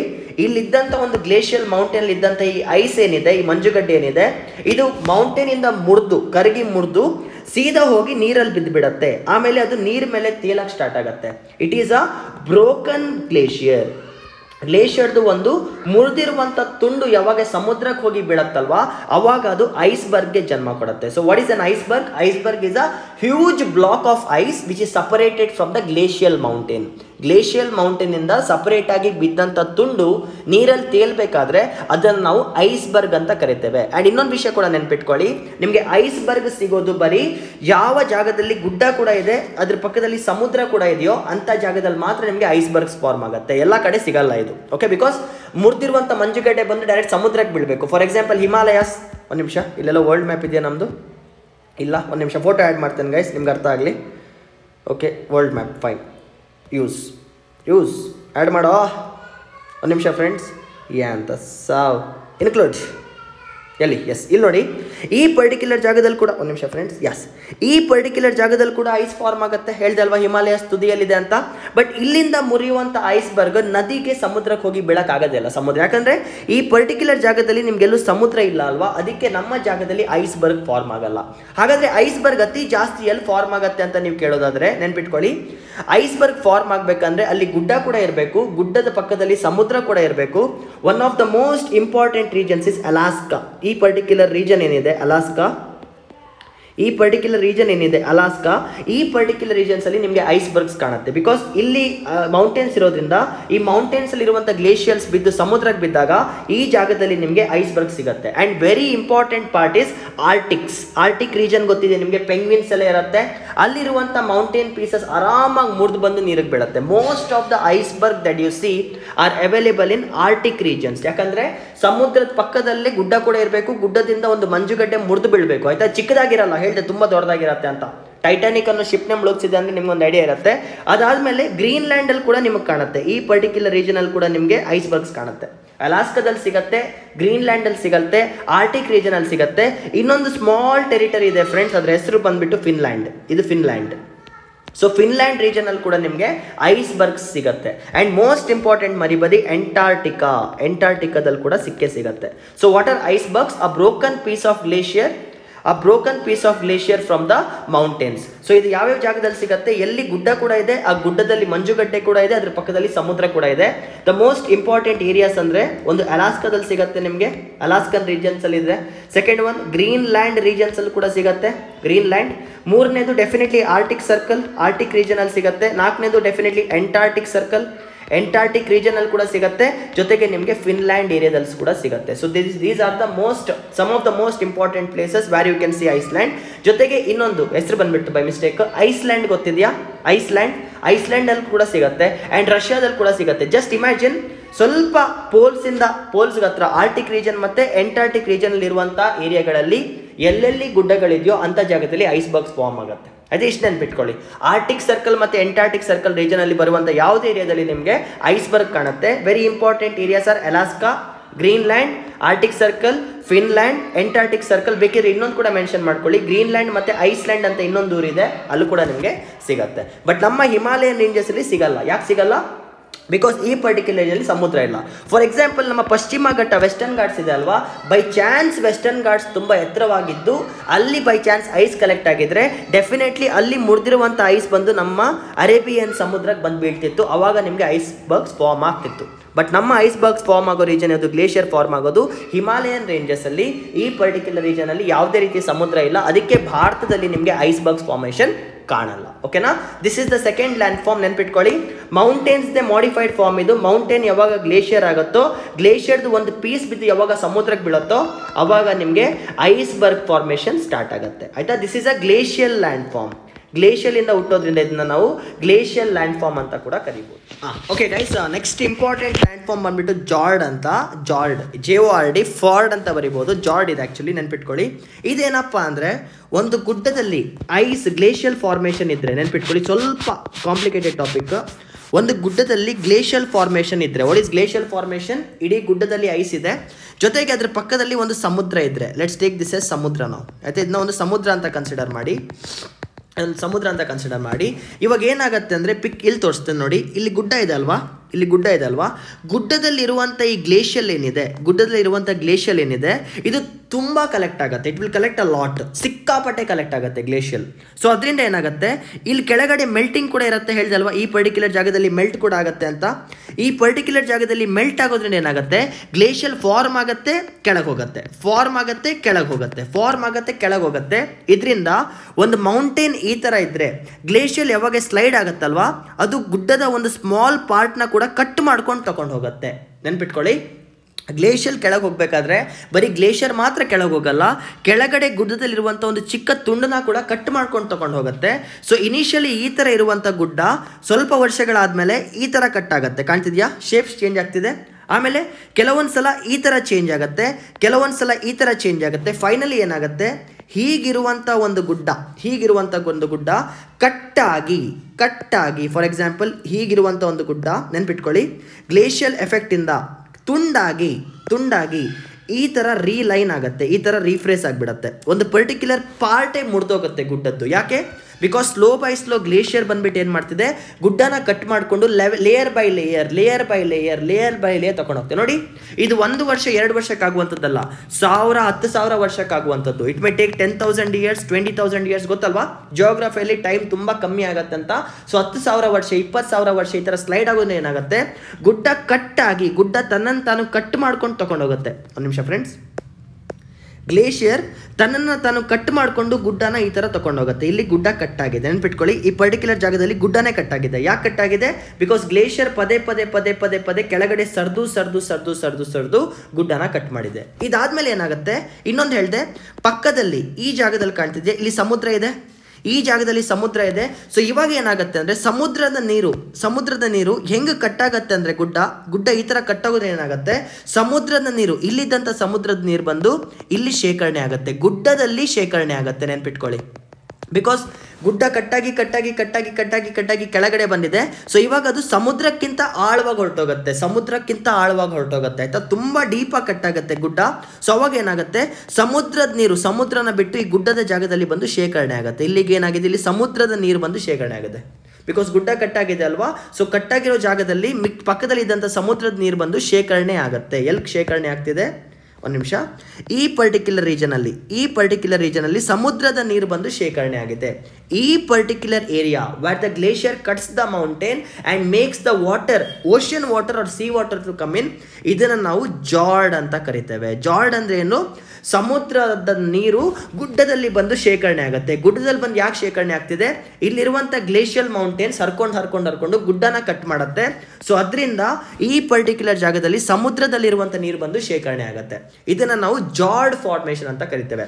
ಸೊ ಜಾರ್ಡ್ದು ಅಡ್ವಾಂಟೇಜ್ ಏನಂದರೆ, ಇಲ್ಲಿ ತನ್ನದೇ ಆದಂಥ ಮೀನುಗಳು ಬಂದು ವಾಸವಾಗುತ್ತೆ. ಸಮುದ್ರದ ಕೆಳಗಡೆ ಗುಡ್ಡದ ಪಕ್ಕದಲ್ಲಿ ಬಂದು ಮೀನುಗಳು ಬಂದು ಸೇವ್ ಆಗುತ್ತೆ. ಇಲ್ಲಿ ಒಂದು ತನ್ನದೇ ಆದಂಥ ಒಂದು ಏಕೋಸಿಸ್ಟಮ್ ಫಾರ್ಮ್ ಆಗುತ್ತೆ. ತನ್ನದೇ ಆದಂಥ ಪಕ್ಷಿ, ತನ್ನದೇ ಆದಂಥ ಗಿಡಗಳು, ಮರಗಳು ಬೆಳೆಯಕ್ಕೆ ಶುರುವಾಗುತ್ತೆ. ಇದನ್ನು ಫೋರ್ಡ್ ಅಂತ ಕರೀತಾರೆ. ಫೋರ್ಡ್ ಅಂದ್ರೆ ಏನು? ಗುಡ್ಡನೇ ಆಗಿದೆ. ಗುಡ್ಡ ಯಾಕೆ ಆಗಿದೆ? ಗ್ಲೇಷಿಯರ್ ಕಟ್ ಮಾಡಿದೆ. ಇದನ್ನು ಇಮೇಜ್ ಫಾರ್ಮಲ್ ನಾನು ತೋರಿಸೋದಾದರೆ, ಒಂದು ನಿಮಿಷ ಫ್ರೆಂಡ್ಸ್ ಇದನ್ನು ಇಮೇಜೆಟಿಕ್ ಫಾರ್ಮಲ್ಲಿ ತೋರಿಸೋದಾದ್ರೆ image ಹೋಯ್ತಪ್ಪ. Let me add it okay ಇಲ್ಲಿದೆ.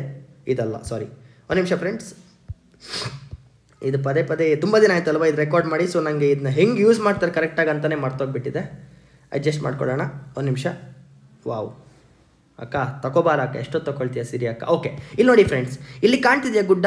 ಇಲ್ಲಿರುವಂಥ ಗುಡ್ಡ if you can observe very carefully ಇಲ್ಲಿರುವಂಥ ಗುಡ್ಡ ಕಟ್ ಆಗಿದೆ ಕಾಣ್ತಿದ್ಯಾ? ಈ ಪರ್ಟಿಕ್ಯುಲರ್ ಜಾಗದಲ್ಲಿ ಹೈಲೈಟ್ ಮಾಡ್ತಾ ಇದ್ದೇನೆ. ಇಲ್ಲಿ ರೆಡ್ ಕಲರ್ ಇಲ್ಲಿ ಕಟ್ ಆಗಿದೆ ಕಟ್ಟಾಗಿ ಏನಾಗಿದೆ? ಇಲ್ಲೊಂದು ಓಪನಿಂಗ್ ಬಂದಿದೆ. ಅಗೋ, ಈ ಪರ್ಟಿಕ್ಯುಲರ್ ರೀಜನ್ ಓಪನ್ ಬಂದಿದೆ. ಇಲ್ಲಿ ಸಮುದ್ರದ ನೀರು ಒಳಗೆ ಬಂದಿದೆ. ಕಾಣ್ತಿದ್ಯಾ? ಈ ಪರ್ಟಿಕ್ಯುಲರ್ ಲ್ಯಾಂಡ್ ಫಾರ್ಮ್ ಏನಿದೆ? ಇಲ್ಲಿ ಗುಡ್ಡ ಕಟ್ಟಾಗಿದೆ. The place what the mountain is cut that is called as fjord ಆಯ್ತಾ? ದಟ್ ಇಸ್ ಕಾಲ್ಡ್ ಜಾಯ್ಡ್ ಒಂದು ನಿಮಿಷ. ಇರೇಸ್ ಮಾಡಿ ನೋಡಿದ್ರೆ ನಿಮಗೆ ಗುಡ್ಡನೇ ಕಟ್ಟಾದಂಗೆ ಕಾಣ್ತಿದೆ. ಗುಡ್ಡ ಯಾಕೆ ಕಟ್ಟಾಗಿದೆ slow by slow glacier deposits ಕೆಳಗೆ ತಗೊಂಡೋಗಿ ತಗೊಂಡೋಗಿ ತಗೊಂಡೋಗಿ ಅಲ್ಲಿರುವಂಥ ನೆಲನ ಕಟ್ ಮಾಡಿಕೊಂಡು ಸೀದಾ ಕೆಳಗಡೆ ಸರ್ಕೊಂಡು ಹೋಗಿದೆ. ಅದರಿಂದ ಸಮುದ್ರ ಕಟ್ಟಾಗತ್ತೆ ಒಂದು ಆಳವಾದಂಥ ಲೇಯರ್ ಕ್ರಿಯೇಟ್ ಆಗುತ್ತೆ. ಅಲ್ಲಿ ಕ್ರಿಯೇಟ್ ಆಗಿರುವಂಥ ಜಾಗದಲ್ಲಿ ಅಕ್ಕಪಕ್ಕದಲ್ಲಿರುವಂಥ ಸಮುದ್ರದ ನೀರು ಬಂದು ಶೇಖರಣೆ ಆಗುತ್ತೆ.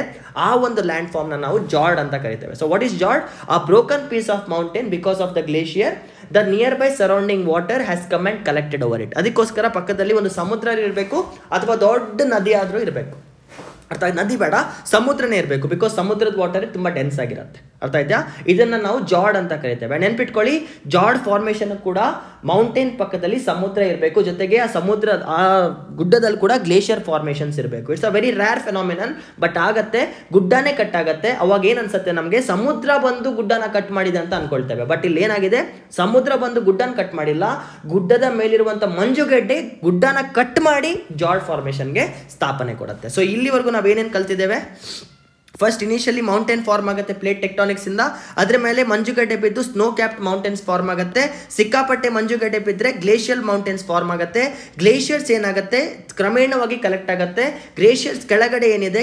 ಗ್ಲೇಷಿಯರ್ ಕೆಳಗಡೆ ಇರುವಂಥ ಜಾಗದಲ್ಲಿ ಮೆಲ್ಟಿಂಗ್ ಇಂದ ಗ್ಲೇಷಿಯರ್ ಕೆಳಗಡೆ ಸರ್ಕೊಂಡು ಹೋಗುತ್ತೆ. ಒಂದು ಪೀಸ್ ಬ್ರೇಕ್ ಆಗಿ ಸಮುದ್ರಕ್ಕೆ ಬಿದ್ದರೆ ಒಂದು ಪ್ರೀಸ್ ಬ್ರೇಕ್ ಆಗಿ ಸಮುದ್ರಕ್ಕೆ ಬಿದ್ದರೆ ಐಸ್ಬರ್ಗ್ ಫಾರ್ಮ್ ಆಗುತ್ತೆ. ಅದೇ ಗ್ಲೇಷಿಯರ್ ತನ್ನನ್ನು ತಾನು ಕಟ್ ಮಾಡ್ಕೊಂಡು ಕಟ್ ಮಾಡ್ಕೊಂಡು ಕಟ್ ಮಾಡ್ಕೊಂಡು ಕೆಳಗಡೆ ಹೋಗಿ ಸಮುದ್ರನ ತುಂಡು ಮಾಡಿ, ಆಮೇಲೆ ಸಮುದ್ರದ ನೀರನ್ನ ತಗೊಬಂದು ಅಲ್ಲಿ ಕಲೆಕ್ಟ್ ಮಾಡಿದ್ರೆ ಅದು ನಮಗೆ ಜಾರ್ಡ್ ಫಾರ್ಮೇಷನ್ ಕೊಡುತ್ತೆ. So these are the very very important land forms first mountain second snow capped mountains third glacial formation fourth glacial slide ಆಗಿ ಐಸ್ಬರ್ಗ್ ಫಾರ್ಮ್ ಆಗುತ್ತೆ ಪೀಸ್ ಆಗಿ. ಫಿಫ್ತ್ ಒನ್ ಜಾರ್ಡ್ ಫಾರ್ಮೇಷನ್ ಆಗುತ್ತೆ. ನಾನು ನಿಮಗೆ ಐದು ಲ್ಯಾಂಡ್ ಫಾರ್ಮ್ ಹೇಳಿದ್ದೇನೆ. ಇದೆಲ್ಲ ಐಸಿಂದ ಫಾರ್ಮ್ ಆಗುವಂಥ ಲ್ಯಾಂಡ್ ಫಾರ್ಮ್ ಮೌಂಟೇನ್ ಮಾತ್ರ ಪ್ಲೇಟ್ ಟೆಕ್ಟಾನಿಕ್ ಇಂದ ಫಾರ್ಮ್ ಆಗುವಂಥ ಲ್ಯಾಂಡ್ ಫಾರ್ಮ್ ಓಕೆನಾ ಡೋಂಟ್ ವರಿ ಈ ವಿಡಿಯೋ ಆದಮೇಲೆ ಮತ್ತೆ ಸಪರೇಟಾಗಿ ಜಿಯೋ ಮಾರ್ಫಿಲಜಿ ಕ್ಲಾಸಸ್ ಮಾಡಿದಾಗ ಇನ್ನೂ ಡೆಪ್ತ್ ಆಗಿ ಮಾತಾಡ್ತೇನೆ. ಬಟ್ ಸಿನ್ಸ್ ಒಂದು ಒಳ್ಳೆ ವಿಡಿಯೋ ಕೊಟ್ಟರೆ ಎಲ್ಲ ಕಂಟೆಂಟ್ ಒಂದು ಕಡೆ ಇರಬೇಕು ಅನ್ನೋ ಕಾರಣಕ್ಕೋಸ್ಕರ ಹೇಳ್ತಾ ಇರೋದು.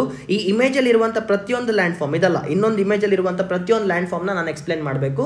ಸೊ ಆದಷ್ಟು ನೆನ್ಪಿಟ್ಕೊಳ್ಳೋಕೆ ಟ್ರೈ ಮಾಡಿ. ಮತ್ತೆ ನಾನು ಜಿಯೋಗ್ರಫಿ ಕಂಟಿನ್ಯೂ ಮಾಡ್ತೀನಿ ಜಿಯೋಗ್ರಫಿನೇ ಇದು, ಮತ್ತೆ ಜಿಯೋಗ್ರಫಿನ ಕಂಟಿನ್ಯೂ ಮಾಡ್ತೇನೆ. ಎಲ್ಲಿಂದ ಲಾಸ್ಟ್ ಪ್ಲೇಟ್ ಟೆಕ್ಟಾನಿಕ್ ಥಿಯರಿ ಆದಮೇಲೆ ಮತ್ತೆ slow by slow water land form ice land form wind land form collect ಮಾಡಿದಾಗ ಇದೆಲ್ಲ ಮತ್ತೆ ಬರುತ್ತೆ. ಬಟ್ ಅವಾಗ ನಾನು ಇಷ್ಟೊಂದು ಡೆಪ್ತಲ್ಲಿ ಹೋಗಲ್ಲ. ಬಿಕಾಸ್ ಟೈಮ್ ಕನ್ಸ್ಯೂಮಿಂಗ್ ಅದಕ್ಕೆ ಒನ್ ಶಾರ್ಟಲ್ಲಿ ಕೂತ್ಕೊಂಡು ಎಲ್ಲ ಲ್ಯಾಂಡ್ ಫಾರ್ಮ್ಸ್ ಇದ್ದೇನೆ ಪ್ಲೀಸ್ ತಲೆಯಲ್ಲಿ ಇಟ್ಕೊಳ್ಳಿ. ಆಯ್ತಾ? ಇದೆಲ್ಲ ಲ್ಯಾಂಡ್ ಫಾರ್ಮ್ಸ್ ನಿಮಗೆ ಮೌಂಟೇನಲ್ಲಿ ಐಸ್ ಇದ್ರೆ ಮಾತ್ರ ಫಾರ್ಮ್ ಆಗುತ್ತೆ. And the most complicated one is fjord because ಇದೇನು ಮಾಡ್ತಿದೆ? ಗುಡ್ಡನ ಕಟ್ ಮಾಡಿ ಐಸ್ ಜಾಗದಲ್ಲಿ ನೀರು ಬಂದು ಸ್ಟೋರ್ ಆಗ್ತಿದೆ. ಸಮುದ್ರದ ನೀರು ಬಂದು ಸ್ಟೋರ್ ಆಗ್ತಿದೆ. ಓಕೆನಾ ನೆಕ್ಸ್ಟ್ ಹೋಗೋಣ. ಮೌಂಟೇನ್ಸ್ ಬಗ್ಗೆ ತುಂಬ ಹೇಳೋದ್ರಿಂದ ಒಂದು last type of mountain ಹೇಳ್ಬಿಡ್ತೇನೆ. It is already done it is already done this is called as ಜ್ವಾಲಾಮುಖಿ lava mountains ಗೊತ್ತಿದೆ ಅಲ್ವಾ ಹೇಳಿದ್ದೆ ನಾನು ನಿಮಗೆ ವಾಲ್ಕೆನೋಸ್ ವಾಲ್ಕೆನೋಸ್ ಅಂದ್ರೆ ಏನು? ಕೆಳಗಡೆ ಅರ್ತ್ ಸರ್ಫೇಸಲ್ಲಿರುವಂಥ ಆಸ್ಟೆನೋಸ್ಪಿಯರಿಂದ ಮ್ಯಾಗ್ಮಾ ಕಂಟಿನ್ಯೂಸ್ ಆಗಿ ಹೊರಗೆ ಬರ್ತಾ ಹೋಗುತ್ತೆ. ಇದರಿಂದ ಏನಾಗುತ್ತೆ? ಈ ಮ್ಯಾಗ್ಮಾ ಕೂಲ್ ಡೌನ್ ಆಗಿ ಕೂಲ್ ಡೌನ್ ಆಗಿ ಕೂಲ್ ಡೌನ್ ಆಗಿ ಕೂಲ್ ಡೌನ್ ಆಗಿ ತನ್ನ ಪಕ್ಕದಲ್ಲಿ ಒಂದು ಗುಡ್ಡನ ಸೃಷ್ಟಿ ಮಾಡುತ್ತೆ. ಅದನ್ನು ನಾವು ವೋಲ್ಕೆನೋಸ್ ಅಂತ ಕರಿತೇವೆ. ಜ್ವಾಲಾಮುಖಿ ಬಗ್ಗೆ ನಾನು ಆಲ್ರೆಡಿ ಹೇಳಿದ್ದೇನೆ. ಸೊ ಇದು ನಿಮ್ಗೆ ಗೊತ್ತಿರುತ್ತೆ. ಆಸ್ಟೆನೋಸ್ಪಿಲ್ ಇರುವಂಥ ಮ್ಯಾಗ್ಮಾ ಕಂಟಿನ್ಯೂಸ್ ಆಗಿ ಭೂಮಿ ಹೊರಗಡೆ ಉಗ್ದು ಉಗ್ದು ಉಗ್ದು ಹಾರ್ಕೊಂಡು ಬಂದು ಯಾವಾಗ ಹೊರಗೆ ಬಂದಿರುವಂಥ ಲಾವ, ಆ ಮ್ಯಾಗ್ಮಾ ಯಾವಾಗ ಹೊರಗೆ ಬರ್ತೆ, ಲಾವ ಅಂತ ಕರಿತೇವೆ. ಅದು ಕೂಲ್ ಡೌನ್ ಆಗಿ ತನ್ಮೇಲೆ ತಾನು ತನ್ಮೇಲೆ ತಾನು ತನ್ಮೇಲೆ ತಾನು ಕೂಲ್ ಡೌನ್ ಆಗಿ ಆಗಿ ಆಗಿ ಆಗಿ ಏನು ಫಾರ್ಮ್ ಆಗುತ್ತೆ? ವಾಲ್ಕೆನೋಸ್ ಫಾರ್ಮ್ ಆಗುತ್ತೆ. ವಾಲ್ಕೆನಿಕ್ ಮೌಂಟೇನ್ಸ್ ಇದು ನಿಮ್ಗೆ ಗೊತ್ತಿರುತ್ತೆ? Volcanoes are formed when two plates converge diverge ಇದು ನಾನು ಆಲ್ರೆಡಿ ವಿಡಿಯೋ ಹಾಕಿದ್ದೇನೆ ನಿಮಗೆ ಪ್ಲೇಟ್ ಟೆಕ್ಟಾನಿಕ್ಸಲ್ಲಿ ಈ ಲ್ಯಾಂಡ್ ಫಾರ್ಮ್ ನಾನು ನಿಮ್ಗೆ ಎಕ್ಸ್ಪ್ಲೇನ್ ಮಾಡಿದ್ದೇನೆ. ಸೊ ಮೌಂಟೇನ್ಸಲ್ಲಿ ಜ್ವಾಲಾಮುಖಿ ಅಂದ್ರೆ ಏನು? ಇದು. ಇಲ್ಲಿ ಕಾಣ್ತಿದ್ಯಾ? ಒಂದು ವಾಲ್ಕೆನಿಕ್ ರೀಜನ್ ಈ ಪರ್ಟಿಕ್ಯುಲರ್ ರೀಜನ್ ಇಂದ ಏನಾಗುತ್ತೆ? ಭೂಮಿ ಒಳಗಡೆ ಆಸ್ಟೆನೋಸ್ಪಿಯರ್ ಇರುವಂತಹ ಮ್ಯಾಗ್ಮಾ ಈ ತೂತಿಂದ ಹೊರಗೆ ಬಂದ್ಬಿಟ್ಟು ಲಾವಾ ಫಾರ್ಮೇಷನ್ ಆಗಿ ಕೂಲ್ ಡೌನ್ ಆಗಿ, ಆ ಪರ್ಟಿಕ್ಯುಲರ್ ಜಾಗದಲ್ಲಿ ಶೇಖರಣೆ ಆಗಿ ಒಂದು ಗುಡ್ಡದ ತರ ಫಾರ್ಮೇಷನ್ ಕೊಡುತ್ತೆ. This is called as volcanoes volcanoes ಬಗ್ಗೆ ನಾನು ಆಲ್ರೆಡಿ ಡೀಟೇಲ್ಡ್ ವಿಡಿಯೋ ಹಾಕಿದ್ದೇನೆ. ಅದನ್ನ ನೋಡಿದ್ರೆ ನಿಮಗೆ ಗೊತ್ತಾಗುತ್ತೆ. ಸೊ ನೆನ್ಪಿಟ್ಕೊಳ್ಳಿ ಮೌಂಟೇನ್ ಆಯಿತು. ಮೌಂಟೇನಲ್ಲಿ ಸ್ನೋ ಕ್ಯಾಪ್ಡ್ ಮೌಂಟೇನ್ಸ್ ಆಯಿತು. ಅದಾದಮೇಲೆ ನಿಮಗೆ ಗ್ಲೇಷಿಯಲ್ ಮೌಂಟೇನ್ಸ್ ಆಯಿತು. ಅದಾದಮೇಲೆ ನಿಮಗೆ ಐಸ್ಬರ್ಗ್ ಫಾರ್ಮೇಷನ್ ಆಯಿತು. ಅದಾದಮೇಲೆ ನಿಮಗೆ ಜಾರ್ಡ್ ಫಾರ್ಮೇಷನ್ ಆಯಿತು. ಅದಾದಮೇಲೆ ವಾಲ್ಕೆನೋಸ್ ನಾನು ಡಿಸ್ಕಸ್ ಮಾಡಿದ್ದೇನೆ. ಮತ್ತೆ ಡಿಸ್ಕಸ್ ಮಾಡ್ತಿಲ್ಲ. ವಾಲ್ಕೆನೋ ಕೂಡ ಆಗಿದೆ. So these are the six words six terms ಹೇಳಿದ್ದಾನೆ. ಮೌಂಟೇನ್ ಅಂದ್ರೆ ಏನಂತ ನಿಮ್ಗೆ ಗೊತ್ತಿರಬೇಕು? ಸ್ನೋ ಕ್ಯಾಪ್ಡ್ ಮೌಂಟೇನ್ಸ್ ಅಂದ್ರೆ ಗೊತ್ತಿರಬೇಕು? ಗ್ಲೇಷಿಯಲ್ ಮೌಂಟೇನ್ಸ್ ಅಂದ್ರೆ ಗೊತ್ತಿರಬೇಕು? ಐಸ್ಬರ್ಗ್ ಅಂದ್ರೆ ಗೊತ್ತಿರಬೇಕು? ಜಾರ್ಡ್ ಅಂದ್ರೆ ಗೊತ್ತಿರಬೇಕು? ವಾಲ್ಕೆನೋ ಅಂದ್ರೆ ಗೊತ್ತಿರಬೇಕು. This is one category of the video so ನಾನು ಈ ವಿಡಿಯೋ ಇಲ್ಲಿಗೆ ಕಟ್ ಮಾಡ್ತಾ ಇದ್ದೇನೆ and I am pasting it a separate part next video ಮತ್ತೆ ಇನ್ನೊಂದು ಪೀಸ್ ಮಾಡಿ ಅಪ್ಲೋಡ್ ಮಾಡ್ತೇನೆ. ಓಕೆನಾ this video is all about mountain landforms. As of now, part 1 is mountain landforms. Okay? Jai.